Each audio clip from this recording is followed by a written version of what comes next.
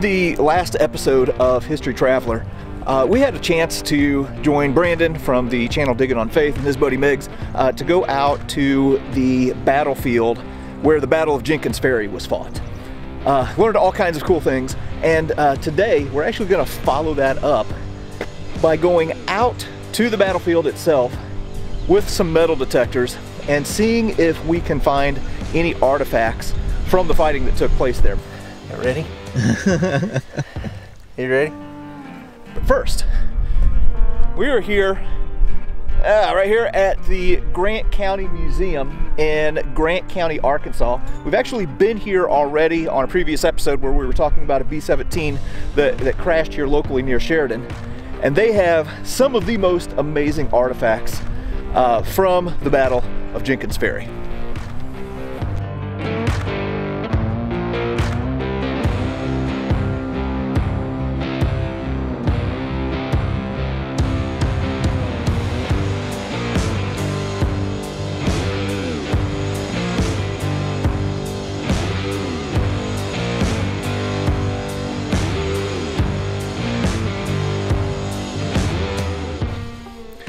All right, uh, we just got here inside the museum, and inside the Grant County Museum, they have probably the largest collection of Jenkins Ferry artifacts that you can find anywhere. Uh, so we got Brandon and, and Megs in here, and we're all kind of looking around. And we also have Lindsay. Uh, she is the director of the Grant County Museum and probably, obviously, knows this place better than any other. Uh, you've been here, what, 11 years? Is that what you said? Okay. It's 11 years. All right, so anyway, she's going to show us uh, a few of the items that uh, really kind of stand out here in the Grant County Museum related to the Battle of Jenkins Ferry. Okay, so I just wanted to point out some of my favorite items here in the Jenkins Ferry Gallery uh, at the Grant County Museum. Um, as you'll see, we have such a large collection of Civil War and Jenkins Ferry artifacts that have been excavated and donated to the museum for the past 40 to 50 years. Um, but some of my personal favorites would be items that have been excavated that belonged to the soldiers themselves, personal items that we could kind of relate to and see here. Uh, and it brings a little bit of a human touch to uh, what we're seeing and, and, and learning about, um, not just what you would see maybe on film or you might um, see in a movie or things like that. This brings a real aspect that we can relate to we have items such as, you know, yeah, kitchen utensils, uh, if you will, spoons, knives, forks. We have uh, some scissors. We have a candle holder.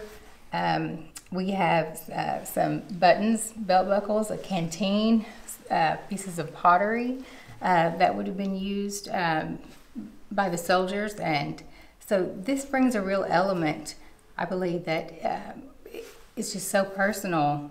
Um, the artillery and all the different things we have are wonderful, but having that personal touch really brings it home for us. All right, so here are a few more of those items that, that Lindsay was talking about. Here's uh, like an old soldier's canteen. It's pretty cool. And then here, uh, make sure I get that in focus, is a, a breastplate. And uh, something that Miggs was telling me is that a lot of soldiers would take that and rip it off because uh, kind of served as a, a, bit of a target for the enemy. So a lot of soldiers would discard that. But man, they just have so many interesting pieces here. Here's something else that is just cool as heck to me that, that Lindsay pointed out. Um, now, I wouldn't know what this is if she wasn't here to tell me or if we didn't have the description back here. It's a little vial of sugar. Uh, this was found in the knapsack of a guy named Private R.M. Rogers, uh, who was with the Arkansas Infantry.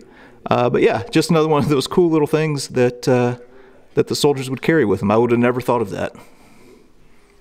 All right, now uh, no Civil War display is going to be complete without uh, you know some some Minié balls and some artillery rounds. So what we're looking at here are some uh, federal Hotchkiss artillery projectiles that were recovered from Steele's retreat route as they were uh, leaving the battlefield and trying to get back up to Little Rock. Here you can see some round balls and some canister there.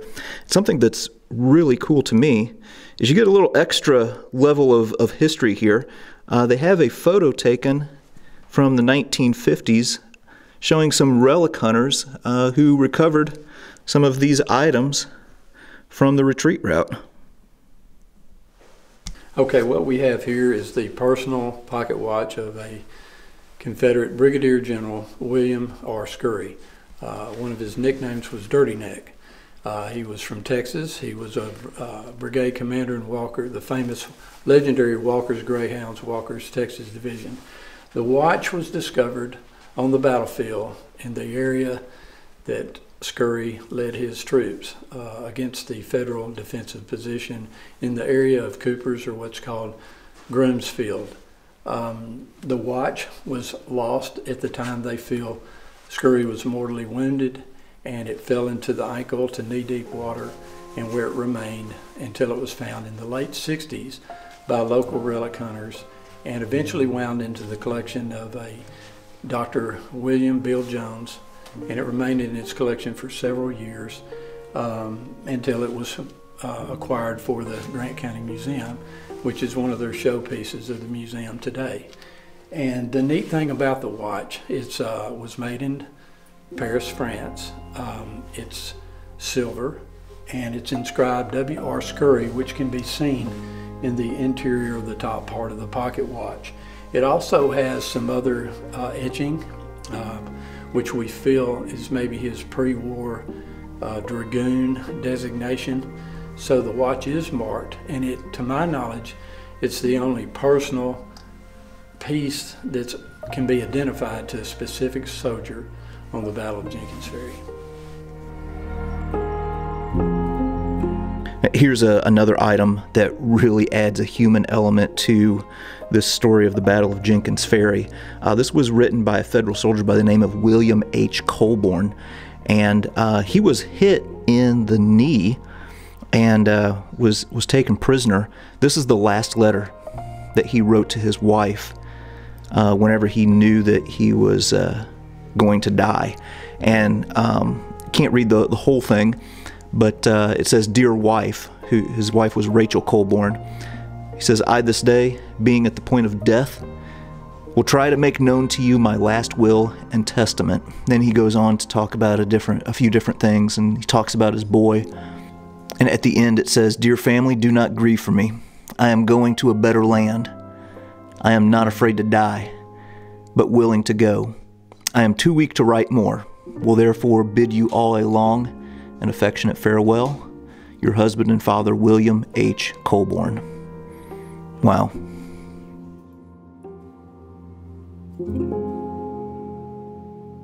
Okay, uh, those are just a, a, few of the historic uh, artifacts from the Battle of Jenkins Ferry uh, here at the Grant County Museum.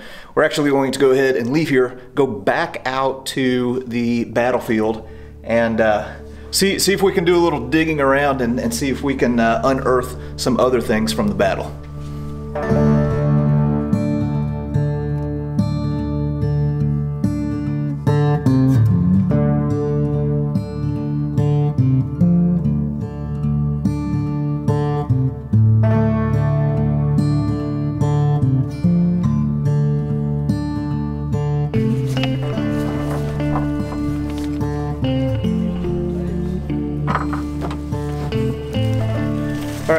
We just got out here to the battlefield and uh, of course got the uh, metal detectors running trying to, to pick up some signals.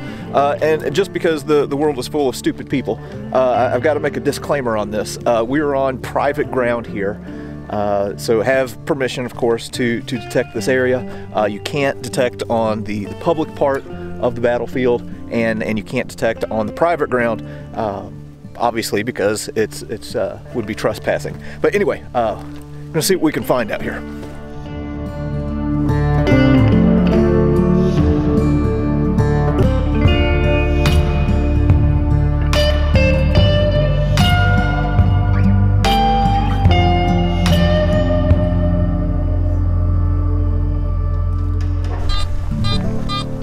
Okay, looks like we might have got our first hit.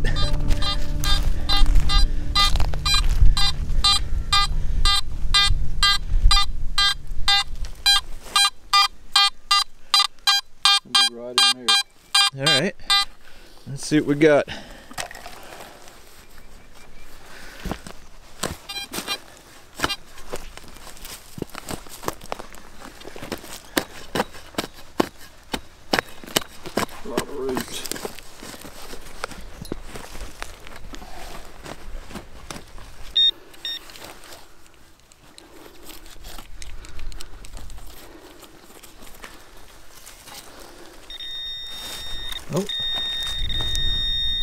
Round ball.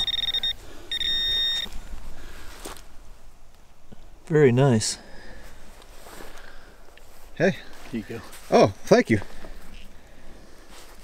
Appreciate that. Sure. All right, so uh, we just pulled our uh, first bullet out of the ground for the day, and by we I mean Megs.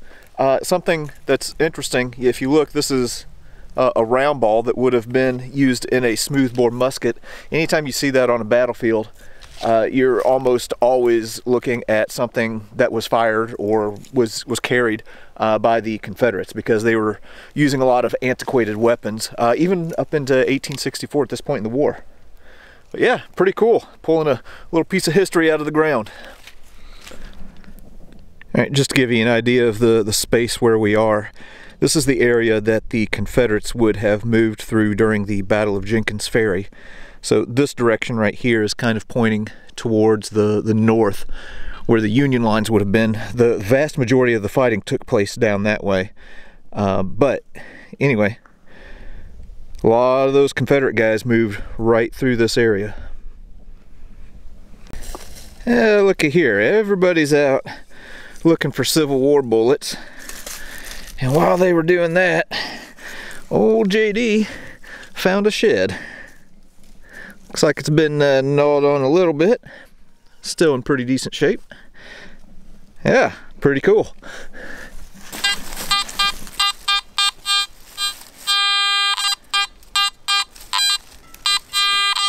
All right, Brandon thinks he's done found something.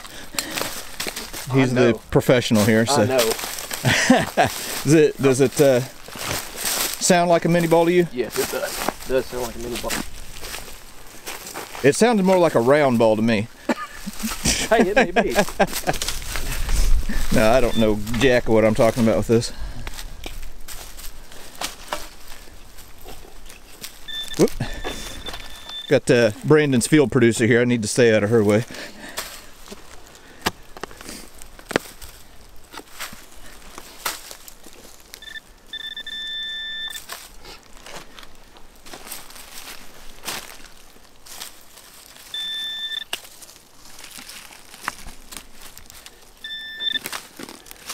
I'll get it in a second. Where are you at? Yeah, there we are. What do you got? It would be a fired Minié ball, 58 caliber Minié ball. So, so would that be? Are we looking at a, a Confederate round or a Union round? Well, What- So the Confederates did use three ringers, um, but this was probably likely a uh, um, Union bullet. So yeah, can see it's it's fired is smashed up on this definitely one right smashed up there, isn't it? Mhm. Oh, things are so bright I can hardly tell if I'm focused or not. Very cool. Yeah. So this is right here in that area where the uh, where that Confederate gun battery got overtaken by the Second Kansas Colored Infantry. So you have to wonder if that might have been one of the bullets that was fired.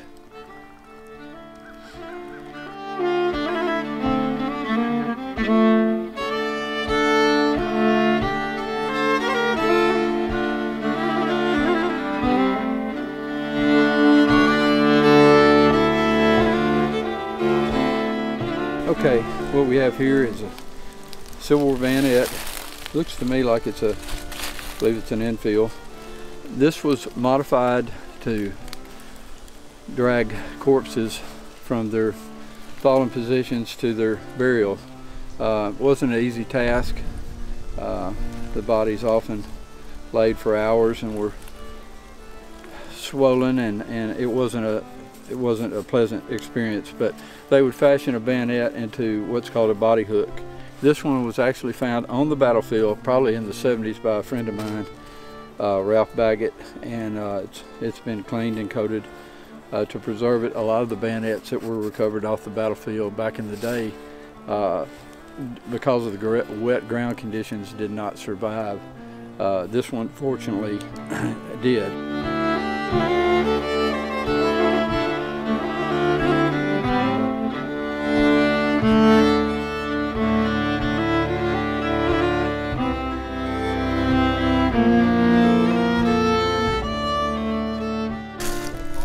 So this is right around where the federal line was, and uh, after the battle, there was a soldier who talked about just the the sadness of this place, and standing in this swampy, ankle-deep water that would have been all around here, and seeing soldiers buried in these mounds that were sticking up above the swamp water. Well, right here is one of those mounds.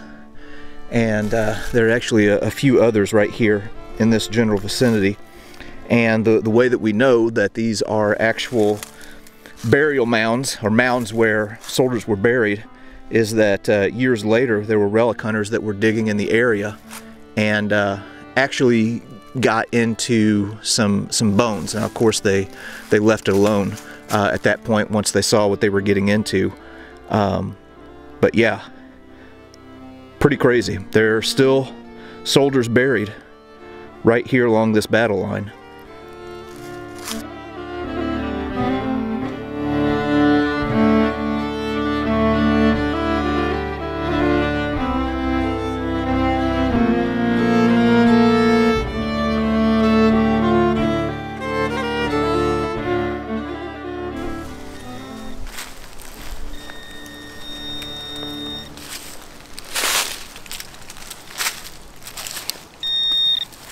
Yeah, is that well, it?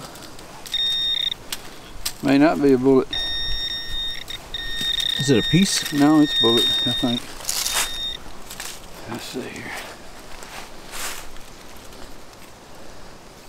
Looks like it's badly. Yeah, it got mauled a little bit, didn't it? Well, it was probably in a tree or breast breastwork. Oh, okay. Let's see if you can see. It's it looks like an Enfield though. So this is a Confederate bullet that will Yeah, looks like a maybe a 54. okay. Could have been in a tree. Huh. You can see the cavity here, little piece of it. Yeah. All right, so we've uh, just moved off of the main battlefield and have moved north of the river where uh, Steele's Union Army was retreating and trying to get back up to Little Rock. And uh, anyway, there, long story short, there is a whole lot of things that, that got dropped right here along this route. So we're going to get uh, geared up here and uh, we'll see if we can find some more stuff. So last year, before modern gun season started here in Arkansas, uh, the day before, um, came to a spot where I found lots of Civil War relics uh, directly related to the Battle of Jenkins Ferry. And after studying maps, and of course I've been here, down here several times, and I know where the Union Army had actually crossed the slough uh, on their retreat to Little Rock. And I thought there has to be some stuff in that water because they were in a hurry, cold, wet, tired, hungry, just ready to get the heck out of here. So the morning of, I guess it was October 3rd, I can't remember the date anyway, so I got in the water and made an unbelievable discovery. So what I found, and what's crazy is it was so well preserved because of the gray clay and sand mix, um, and the leather even, you can even, it smell, almost smells new. It's, it's wild. So this is a, a Union soldier's uh, accoutrements. Um, have an ammo pouch. Of course, I have some more stuff at the house that's being treated. And, uh, some, um, anyways, that'll it'll preserve the leather propylene glycol. So what I have is a this is a a Union soldier's belt. excuse me, belt buckle. I still have the leather attached to it, Man, that is incredible. and part of his uh, percussion cap box, his uh, bayonet frog, and these are bullets that would have been in this uh, cartridge box here.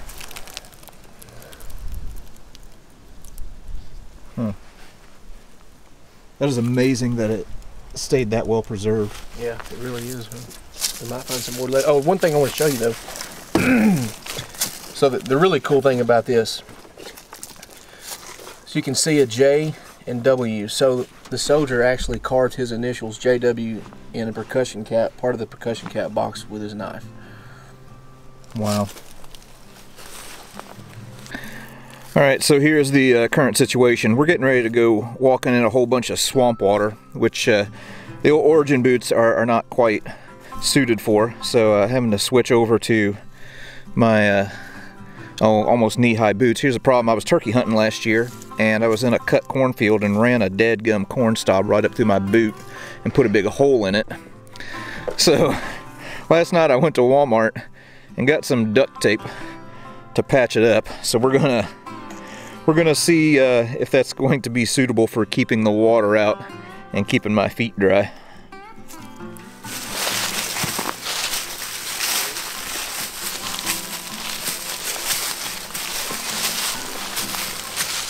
So right here, up in the middle of the the slough here, that dark spot, that's where I found all the, the leather goods Oh wow. and the bayonet. Huh. You can see the Crazy. road- see the road cut, JD, over there. Yeah.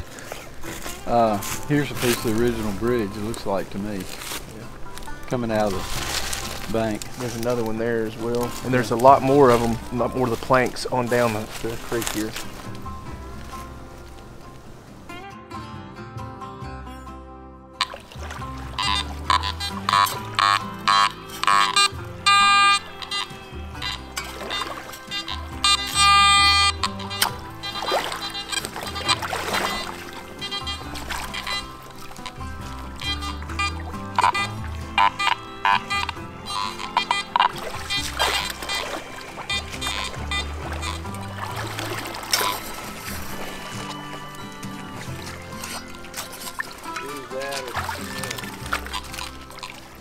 water's cold.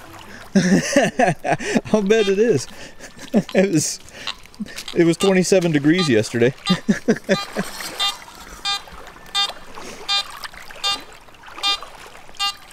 what you got? Holy smokes. See that? Look at that. All the woods, all the wood is still on it. Huh. Go ahead, y'all go ahead and do it, and I'll take a photo when you're done. That's incredible. Look at that. And the blade is out too. I was like, why, why is the blade out? Wow. I'll be dead gum. That's interesting. That's, wow. So this would have been, this is the same hole where the cartridge, bo- excuse me, the cartridge box and belt and all the other leather stuff was and the bullets. So apparently he had had this, it was either on his belt in a case or in his pocket or his uh, cartridge box. I don't know. That's really cool right there. Yeah. Very personal, you know, item. That'll be cool having that with all the other stuff. It will, exactly. That one's 10 inches plus deep. Okay, so after crossing the creek, quick uh, update on the boot situation. I think that we can classify my uh, my patch job as a uh, complete and utter failure. Golly.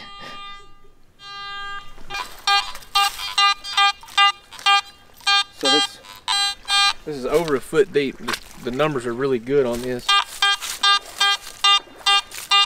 I'm fairly certain it's not a can because the gray clay layer kind of starts maybe like six, six inches down. So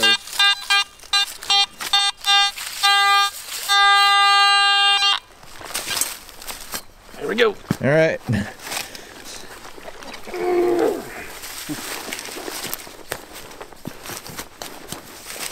Let's see if we can unearth something cool here.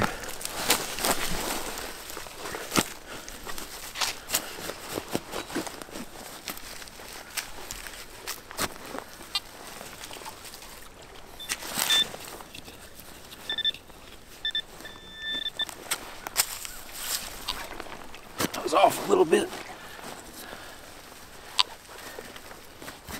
Yeah, see, we're getting down into the gray clay. Sam, is that rust? No, I don't get that.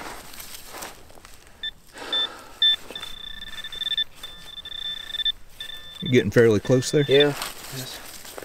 Getting close.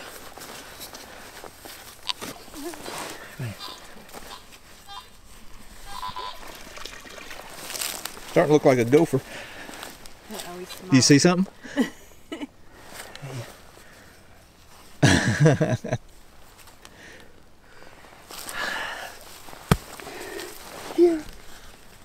Yeah. What is it? Well, it's not a Hotchkiss shell. So Hotchkiss shells normally ring up the same, or the noses ring up the same as what this did. Oh yeah. It's a good one. it's good.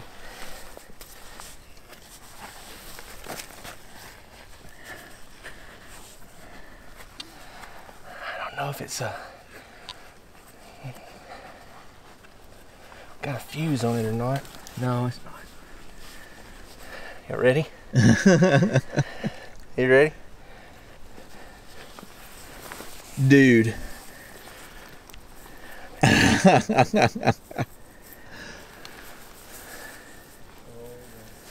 Look at that. It's a wood drive-in. Is it? It's a. I don't know. I, I don't think it's a solid, Solid solid six pounder. You sure? Yeah, Look yeah, it's solid. Drive-in. I'm pretty sure. Yeah, No wood drive-in? I don't think so. Holy smokes, man. Isn't that crazy? oh my god! I've never dug a sol- never dug a, a solid cannonball before. That's cool. That's good stuff right there. Good job. I thought man. for sure it was gonna be a Hotchkiss shell. Thanks. Oh, hold it up. That is beautiful.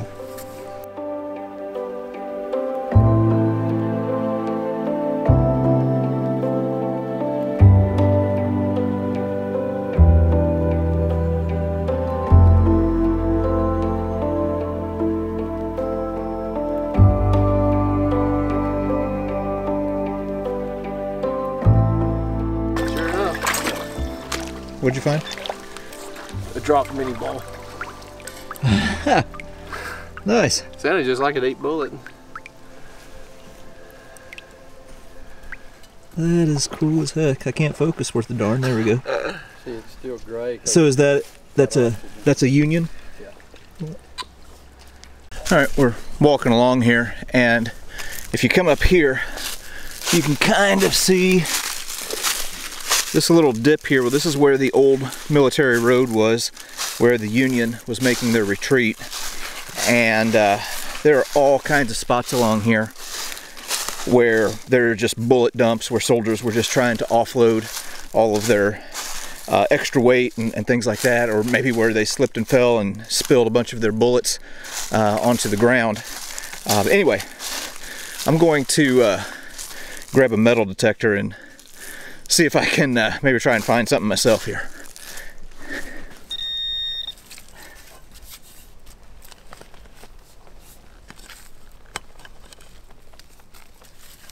Oh. No, never mind.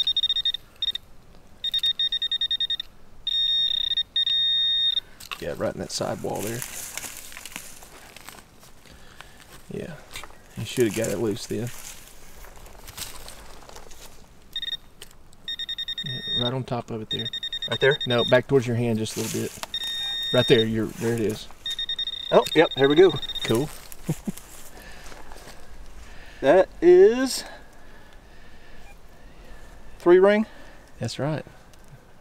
And it looks Hey. dropped. There we go. Yeah. Awesome. Heck yeah, man. First Civil War relic, right? Uh, yeah, that's the first civil uh, Civil War bullet that I've dug. Awesome. Man, that is so cool to think that the last person that touched this was a Union soldier here. Uh, that was uh, at uh, Battle of Jenkins Ferry. That is awesome.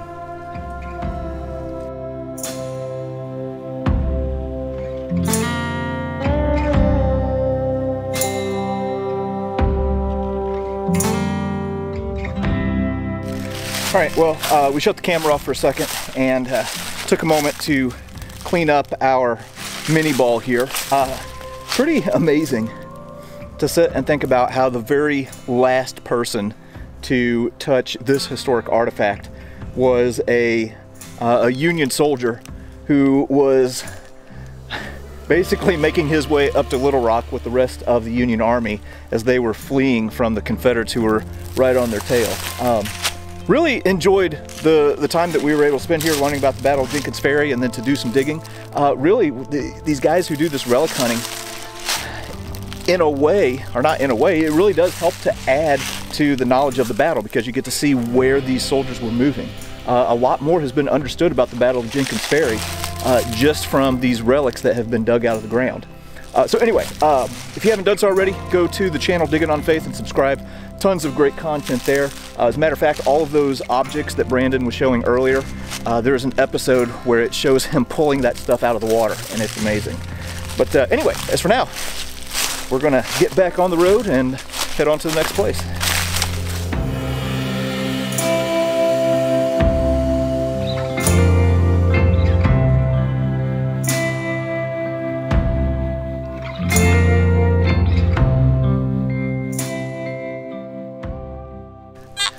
Is that something right there? That is? Okay. That sound like a bullet? These guys can like tell stuff from tones and I don't know jack. Uh,